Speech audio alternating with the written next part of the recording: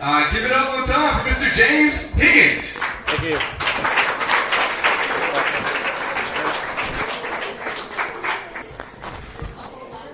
Hi, I hope some of you remember the 80s and 90s. Uh, guy who played Sherlock Holmes on PBS, uh, actor named Jeremy Brett.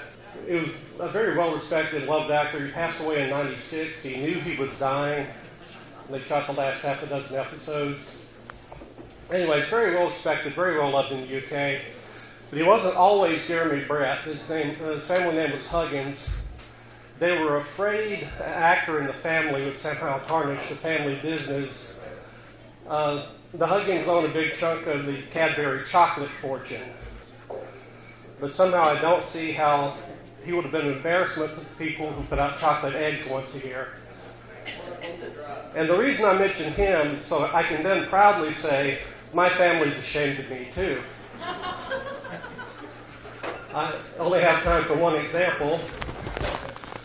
Uh, my day gig right now is I'm upgrading computers for the North Carolina prison system. When I got the gig, I called my family to let them know I was employed again because that's what you do. You call mama.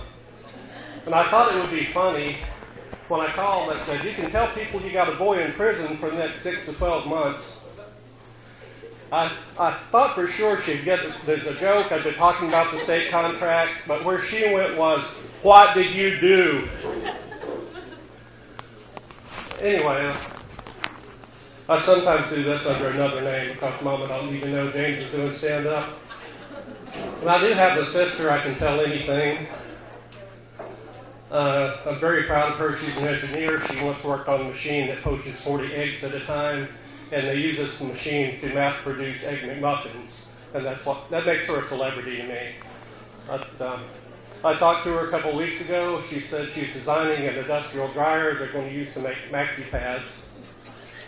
Um, and her coworkers asked her what industry she's working with these days, and she says feminine hygiene.